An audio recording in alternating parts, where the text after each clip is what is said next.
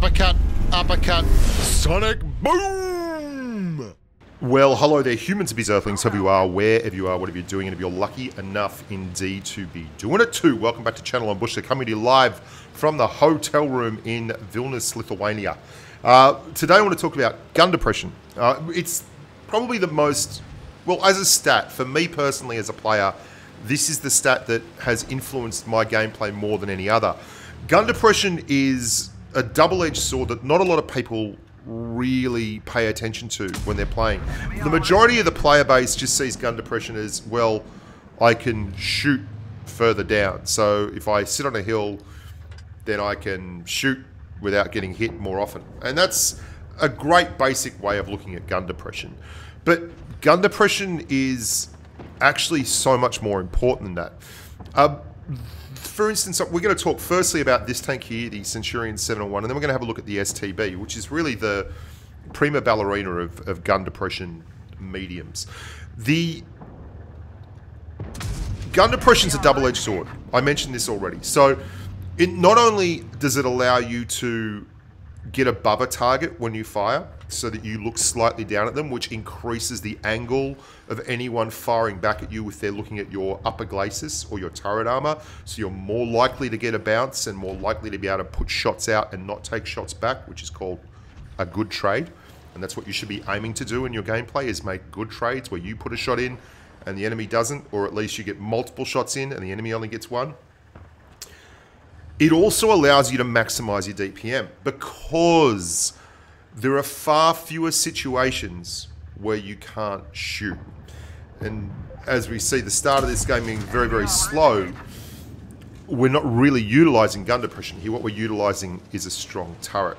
Uh, but the reason it maximizes your DPM is, is you're going to come across all kinds of different terrain in Blitz. It's not a flat arena. It's, in fact, an arena where there is an awful lot of people running around with, uh, you know, hiding behind berms, on top of hills, down ravines, in cap circles, behind little bits of concrete, whatever the case may be, as the Yamato's 18 inches pop out in the background. And that means that if you don't have gun depression, if you're wondering what I'm talking about, go and drive a Chinese medium tank and, and see how you go with that absolutely horrific amount of gun depression you will often be in situations where you quite simply can't shoot a tank that's 10 meters in front of you because there is a slight rise in the ground. You never come across that in a Cent 701 or an STB. Or if you do, it's, it's in such a disastrously large and crazy kind of incline that obviously there's no way to overcome it. What you've got to be very careful of when you're driving a gun depression tank, though, is that you can serve hit points. Because gun depression tanks one of the, the things that people don't really think about when they look at the game is balance. Like how the, the scissors rock paper of World of Tanks Blitz right? So if you have a tank that doesn't have gun depression there are generally a lot of things that that tank does have. Uh, let's take for instance like those aforementioned Chinese medium tanks. Well they have excellent upper glacis they have excellent turrets. They are well armored vehicles. Your gun depression tanks, your STBs, your Centurion 7-1s they tend to be very, very tough on top, the ones that are successful, and very, very soft underneath. Uh, think of a 62A versus, say, uh, Leopard 1. The Leopard 1 is all about speed, accuracy, and gun depression. The FV4202 is another great example of a uh, of an excellent tank that probably doesn't get the credit it deserves. I've seen people talking on Reddit about how the FV4202 is a weak tank, and I'm just baffled by this idea. The FV4202 has one of the best upper glacis of any medium in World of Tanks Blitz. It also has one of the best uh, turrets of any medium with a gun like that and that kind of DPM output. Like an FV4202 firing Hesh has the most insane damage per minute that you're ever going to find in World of Tanks Blitz. If you're running that thing with Hesh and a gun ram, you can get it up to over 4100 damage a minute, 4.1k DPM if you get behind someone. And that's why the 4202 in the hands of someone who's really good is pretty spectacular, or indeed in the hands of someone who's just been driving it for a long time. And then you look at tanks like the Cent 7 and 1, and there's one of the reasons I love this tank so much is, and it's suffered a lot. For, for reasons unknown, I don't know why, the matchmaker, it's very rare to get a game like this where you are tier 9 and you are top tier. For the most part, for me, when I'm playing the Sent, I'm always trying to conserve hit points because you are in tier 10 games. And in tier 10 games in this tank, you end up being a 2500 DPM medium tank that's quite slow and has armor that is excellent at bouncing shots from tier 8 and 9 tanks when hull down and using its gun depression.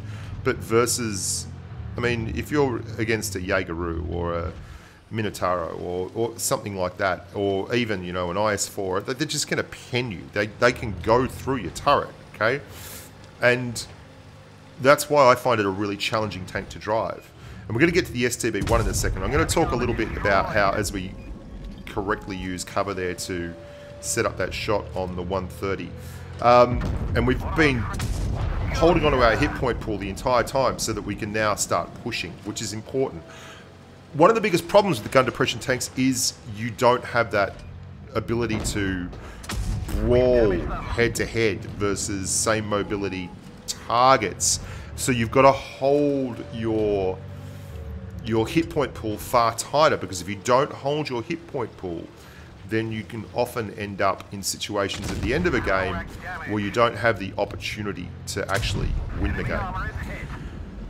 So when you're looking at tanks to drive, if you're a new player, you should absolutely consider gun depression, mediums, and heavies as a great entry into World of Tanks Blitz. They are the kind of tanks that allow you to be useful in far more terrain and across a lot more maps. I did a Reddit AMA yesterday. In fact, I haven't checked it, but there was a lot of people on Reddit who asked me questions, and uh, I checking it. The holy balls is uh, like, wow. There's a lot. There's a lot of people who have asked questions. Um, I might even do a video on it. Sounds like fun. Uh, and I think one of them was about comp makeup.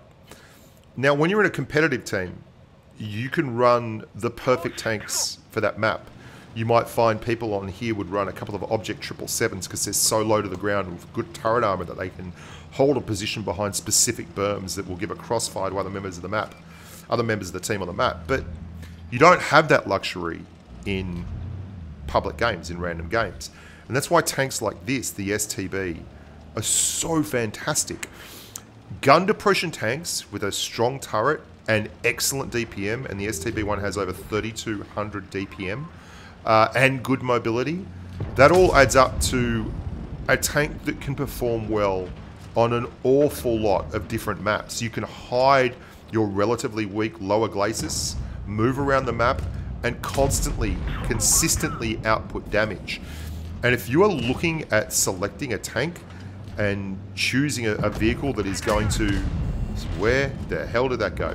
That is going to successfully allow you to be you know, an excellent part of the, the team in all terrain and across all maps, especially as a new player, then a, a tank like the STB-1 is brilliant.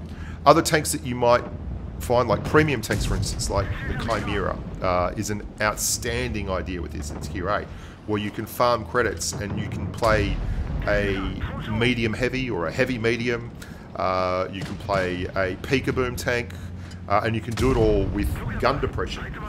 Chieftain Mark 6s. Uh, these, are, these are tanks that can perform across a wide variety of different engagements. And in Blitz, versatility is almost a stat. It's, it's so important to be able to output damage with and you know both spot your own targets and defeat your own targets be able to handle a 1v1 engagement and that's why I think gun depression for me remains the most important stat in Blitz. Uh, there are so many amazing players out there, and if you give them gun depression, and that's all you really need to give them. Just gun depression and a decent gun that has good DPM and allows them to get involved. And the next thing you know, they're cracking, you know, 3k per game and having a wonderful time, and that's all you really need. Anyway, I'm Bushka. Thank you so much for uh, for that. I might even go through and do a video on the Reddit AMA um, because I'm still stuck in this hotel room, hotel room in Vilnius, and I think that might be a little bit of fun. And uh, yeah, just remember to like the video, subscribe. Make sure you tune in for the Blitz Summer Cup EU stream, which I'm going to be doing. I think it's Sunday night. Um, that's going to be great. Uh, the details of that will be on the portal and on the in-game portal. So open your client and follow the links. And uh, yeah, I'll be there. You'll be there. We'll all have a good time. Until next time, look after yourselves. Stay safe on the battlefield. And bye for now.